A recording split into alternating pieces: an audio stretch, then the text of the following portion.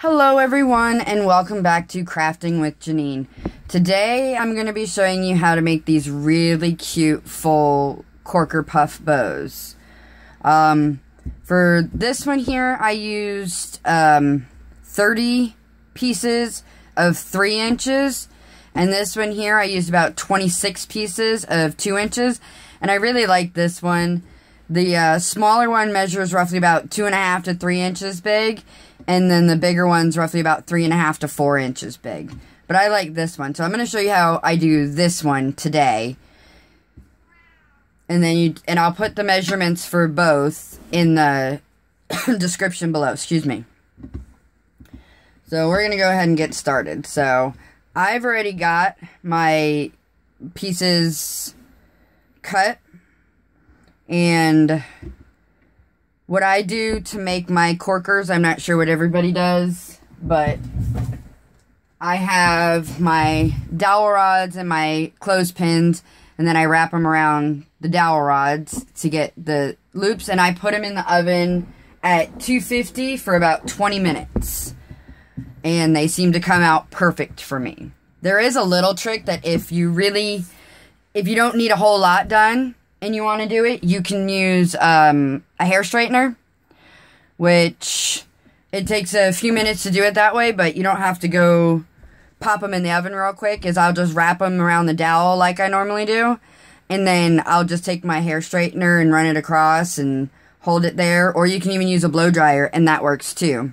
It just takes a few minutes for one, but if you only need to make one, like you're short a few korkers or something, that works in a pinch. But to do a lot of them, the oven is the best way to go. So we're going to go ahead and get started. Where did I put it? There it is. So I have my needle. I'm going to go thread my needle.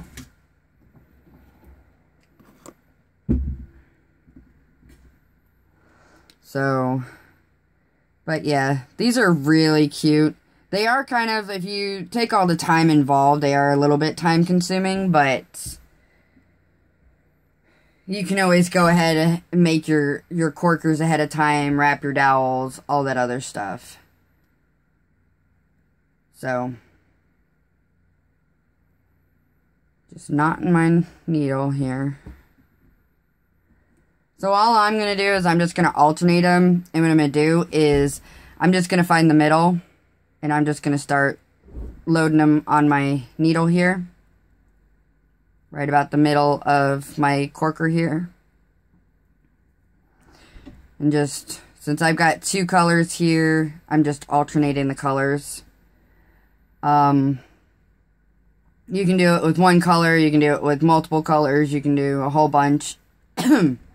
it's really up to you. There is no, like, specific way to do them. I just kind of start just stacking them around like so, and onto my needle, like this.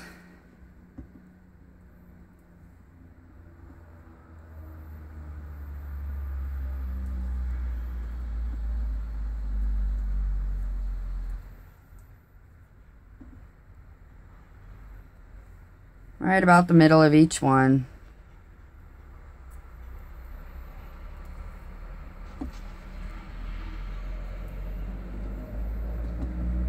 As we go along. And if it starts to get full, like my needle's getting full, I just send them on down to my knot. And just kind of leave them sitting there and then start stacking again. Because it doesn't really matter. You can even send them down one at a time like this.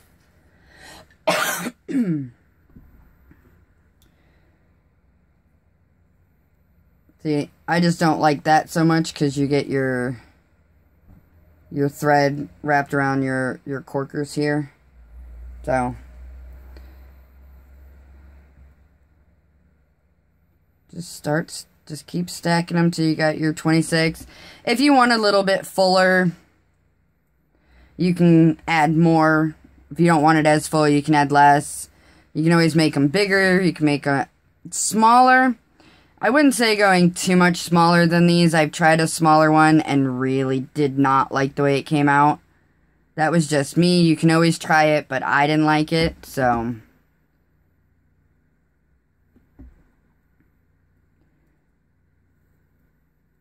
So we go, just like so. I'm going to hold it up so it doesn't get all tangled on me like it already has right here. We're getting tangled. There we go. So, just like so. And then just going to send it on down the end. And then what I'm going to do here is now that I've got all my little korkers on there, I'm just going to grab it and kind of find the middle and I'm going to take it and I'm going to run a stitch right through the center here. Just like that.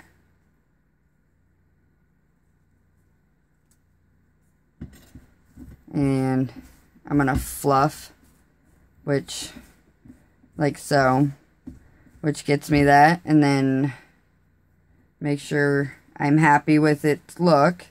And then I'm just going to kind of tie it off right here where I, where I set it through. I'm just going to tie off real quick right here in the middle.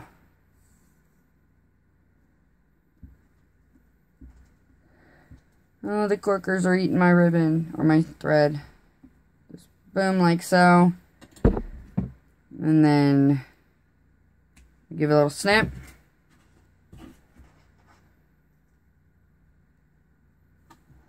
And from this part, you can go any route you want with them. You can put them in the middle of your Twisted Boutique bow. You can make a, a piggy set with just them. Just put a clip on there. You can put them in the center of a flower. You can really do anything you want with them from this point. It just kind of is that and I like these the best. I like it this way because it makes it a nice full. Now I know that there are some that will tie them, but I've tried it that route and don't love it that route. I can't ever keep my korkers like in the spot I want them to be in. So this way threading it on the needle and then just putting it through will give me the nice full propped up korkers like so. So there's that one. It was a pretty quick and easy one. And once again, here's the bigger one. You can see the difference in the sizes. I like the smaller ones than the bigger ones. But, um, so, that's that. Um, and please, if you like the video, hit the thumbs up. Let me know how I'm doing uh, in the comments below. And please, please, please subscribe.